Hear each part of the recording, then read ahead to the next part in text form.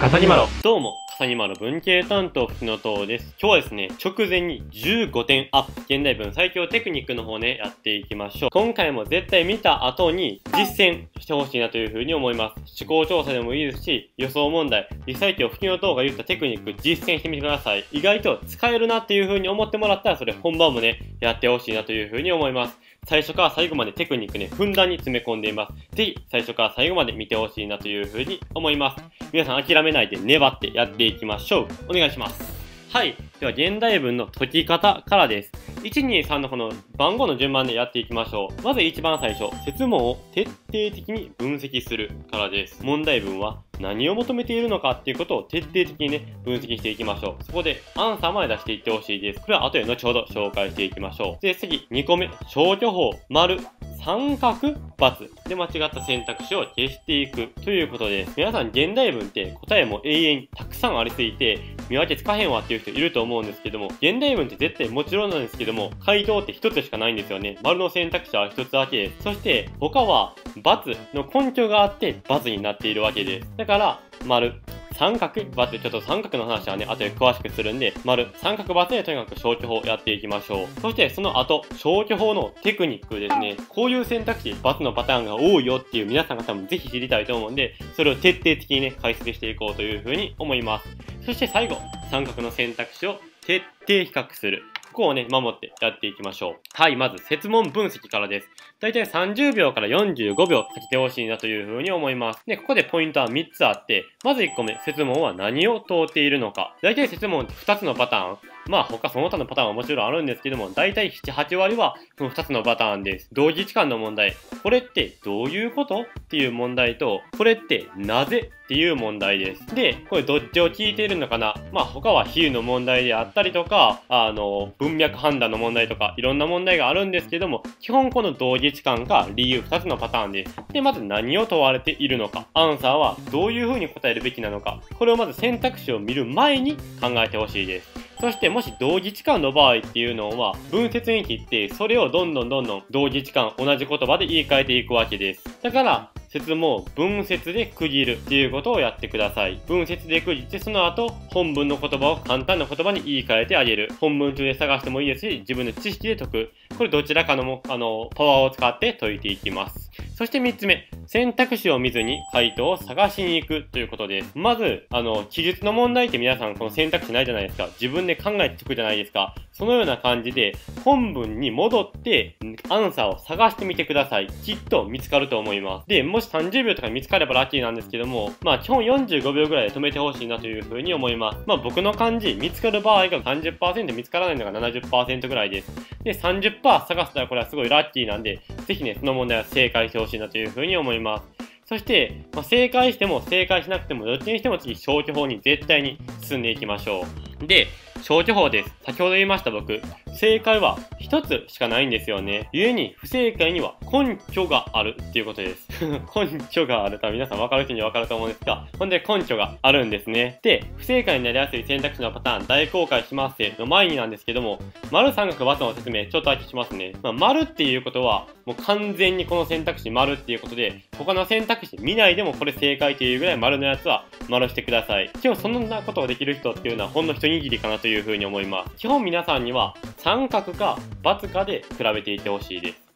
で、三角っていうのは、これ×の根拠ないけど怪しいなっていうもんを三角。で、これ絶対×っていうのは×ってもらえたらいいなというふうに思います。三角は多くても3つほどにしてほしいなというふうに思います。1からま5、1から4、どれかわからないですけども、それを丸、×、三角というふうにしていってほしいです。で、×の部分には例えば、日本についてしか書かれてないのに、エチオピアについて書かれてるとかやったらもう絶対×じゃないですか。じゃあ、そのエチオピアの部分の横の線引いて、×というのにしてあげてください。だから不正解には根拠があるので、その根拠の部分を×する。これで皆さん見直しの時間も短縮できるので、基本三角か×かで消去法していきましょう。そして不正解になりやすい選択肢のパターンを大公開するので、ぜひね、これ見ていってください。で、今回4パターン紹介していこうと思います。まあ最初はすごい簡単な2つです。すぐできるので、これはね、ぜひね、本番も使ってみてください。けどこれ、×になる可能性が高い4パターンなので、これやから絶対×っていう可能性ではないので、一応ね、頭の片隅に置いといて使ってほしいなというふうに思います。まず、限定型。内容を限定しているためです。例えば、日本以外についても書かれているので、日本のみとか言われたり、あとは動物についても当てはまるのに、人間だけとか、のみとかだけみたいな感じで限定されれているもの。これは罰になる可能性が高いっていう感じです。これ100%罰ではないので、罰になる可能性が高い。これは頭に入れておいてほしいです。で、この絶対型。これはね、ほとんど罰になる可能性が高いなって思うんですけども、まあ、なんとも言い切れないんで、可能性が高いに留めときます。で、内容を断定しているため罰っていうものです。絶対にであったり、全員、必ず、一人もいないとか、まあ、特に絶対に必ずとかは、実際その普遍的なものっていうのはないじゃないですか。だから絶対にとか必ず、あと普遍的にとか、そういうものっていうのは、まあ、100%っていうのは本当に現実起こる可能性が少ないので、あまり使われてないです、評論文には実際に。だから、絶対にとか必ずとか、まあ、あと一人もいない全員とかは、罰の可能性が高いよというふうに押さえておいてください。これ実際英語のね、評論文の方にも使えます。で、ここが特に現代文大事な2つのやつやっていきましょう。余分型というやつです。これちょっと例題がすごい分かり、例がちょっと分かりにくいんで、今日皆さんにうまく伝えたいんですけども、本文で書かれていない余分な情報が書かれているから×。これ実際めちゃくちゃ多いんですよ。はっきり言って選択肢は多分3割ぐらいこれで消せるかなというふうに思います。例えば、キリスト教の話だけをしてるのに仏教の話と混ぜてあるとか、まあ、こんなわかりやすい例っていうのは本当にごく少数ですけども、無駄な言葉が書かれているんですね。無駄な情報が書かれている。それは罰の根拠になるんですよね。だから、無駄なものが書かれているというのは、罰の可能性が高い。てか、罰の可能性ってか、罰になります。無駄なものがもちろん書かれていたら余分なので。ということで、これは罰になるよということです。そして次、君の名は型。これ時間のズレが生じているっていうパターンです。もちろんこの評論文の中でも時間流れていくパターン。特にまあ小説とか、まあ、評論文じゃないですけども小説であったりとか、あと実用文のパターンでもこの時間が経過していくパターンってあるじゃないですか。で、例えば1920年代の話と1940年代の話を同時にって書いて、同じ並列で書いていたりとか、あとは次第に増加しているものを突然増加したとか急激にって書いたらそれは罰になるじゃないですか。なんかそういう風に時間のズレを利用して分かりにくくしている。こういう風なバツパターンも非常に多いです。この余分型、そして君の名は型。この2つね、すごいよく出てくるので、この2つもね、押さえておいてほしいという風に思います。で、すいません。可能性が高い4パターンでしたね。すいません。間違えました。で、最後、消去法を皆さんマスターしましたね。で、その後、三角の選択肢を徹底比較してください。基本この今教えて、あの、教えた4ポイントで消去法してください。けどこれで、まあ、残るやつがあります。うん、怪しいな。じゃあ、その選択肢、全くも問題も見ずに、その2つの選択肢だけを見て徹底比較してください。何が違うのか、どの部分が違うのか、絶対もちろん違いがあるじゃないですか。で、その何が違うのかっていうのを見つかるまで徹底比較してください。もちろん時間が許す限りですけど、何が違うのかっていうのを何も見ず、その選択肢だけを見て違うのを徹底比較してください。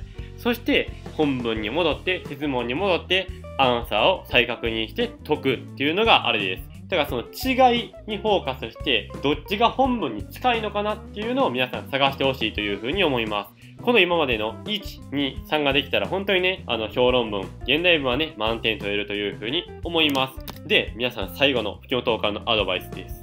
マジで悩む問題実際あるんですよ。三角三角で違い見たけど、いやー、どっちも微妙いなーっていう問題あるんですよ。で、そういう時、吹きの塔からのワンポイントアドバイスです。まあこれももう可能性話なんで、高齢の方がいいよっていうぐらいなんですけども、これの方がまあ可能性が高いよっていうぐらいに留めといてほしいんですけども、抽象的な選択肢を選んだら正解の可能性が高いです。なんでか。じゃあ皆さんこの例題解いてみてください。例えば、これは古代人の問題だ。これは人間の問題だ。これは日本人の問題だ。皆さんどれがアンサーですか？そんなわからんよ。いや、そらそうだと思うんですけども、ちょっと解いてみてください。アンサーは人間の問題が絶対アンサーになるんですよ。なんでかっていうことですよね。これって人間っていうのは古代人も日本人も未来人もそして他のアメリカ人であったり原住民であったりいろんな人間っていうあらゆる人間を網羅してますよねだから抽象的こっちの方がより具体的じゃないですか。古代人っていう風に絞っちゃってる。人間っていう大きな集合の中に古代人であったり、日本人、アメリカ人、